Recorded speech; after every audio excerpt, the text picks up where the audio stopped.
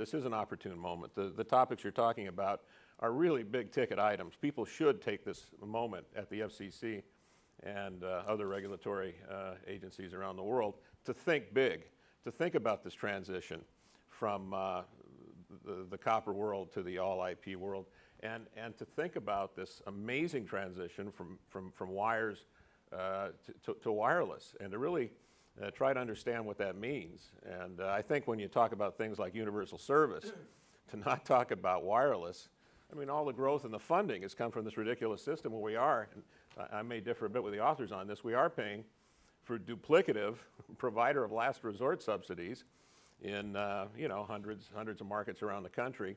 And we, we have, I mean, just to, to flip this, uh, to flip this uh, terrible $8 billion a year, did I say terrible? No, I mean awful. Uh, $8 billion a year waste in universal service subsidies, which do, does not help consumers and does not expand the network. And the research on this goes far and deep, and a lot of it's been done historically here at Brookings.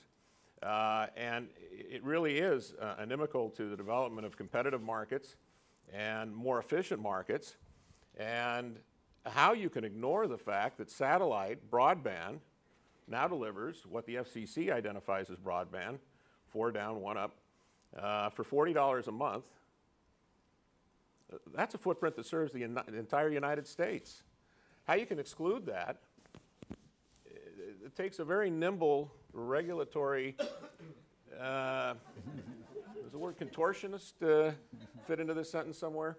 Anyway, um, you've defined what broadband is. Satellite companies are, are off actually offering that. Wireless companies certainly are offering that in many markets. There'll be more. Uh, the news we get from Japan is people are giving up fiber to the home to get 4G LTE subscriptions. And somehow we're surprised by that. Somehow we're, we're shocked. Oh, you mean wireless can substitute for wireline? We never thought of that.